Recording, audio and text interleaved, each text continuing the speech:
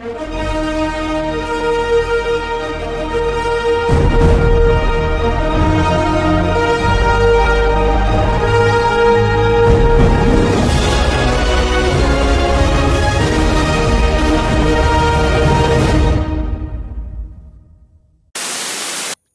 species America brought in to fight invasives. Number one, the cane toad, Florida and the South. Target, sugarcane beetles. Outcome became invasive itself, poisonous to pets and predators. Fact, introduced from Central America in the 1930s. Number two, Asian lady beetle. Target, aphids on crops.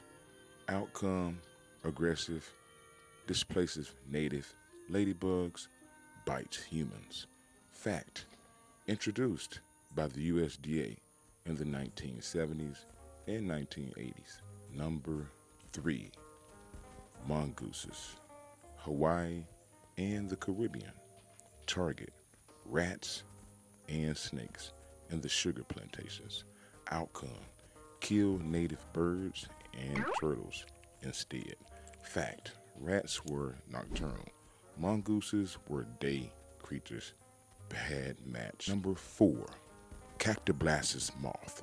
Southeast USA target invasive prickly pear cactus. Outcome, highly effective in Florida. Fact, originally coming from Argentina, used successfully in Australia. Two. Number five, mosquito fish. Target, mosquito larvae.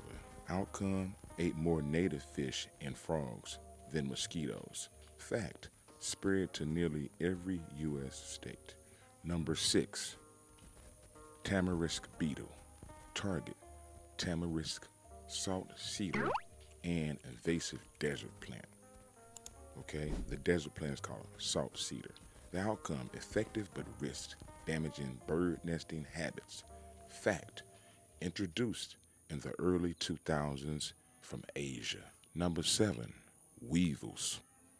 Target water, choking southern waterways. Weevils became a very, very damaging animal. Outcome slowly affecting other biological control mechanisms. Fact, weevils chew through leaves, reducing plant spread. Number eight, Galerucella beetles. Target, purple loosestrife, an invasive wetland plant. Outcome, infective in reducing populations. Fact, introduced in the 1990s, now part of the wetland management. Number nine, parasitic wasp. Target, emerald ash borer, and the gypsy moth caterpillars. Outcome still under research. Some positive results, but not that many. Fact, lay eggs in invasive pest, killing them from an inside. Number 10, the grass carp. Target, aquatic weeds in southern lakes. Outcome, effective, but sometimes over cleared vegetation. Fact, sterile versions are used to prevent uncontrolled breeding. Vaquero Artisan here, Bass Pro Fishing Shops, some deer, SOG, tactical, try SOG. Got a nice little rain outside today. Got in a nice little piece of food today. Ate a little something. This here's the Vaquero Artisan Channel. We don't miss nothing. Neither should you.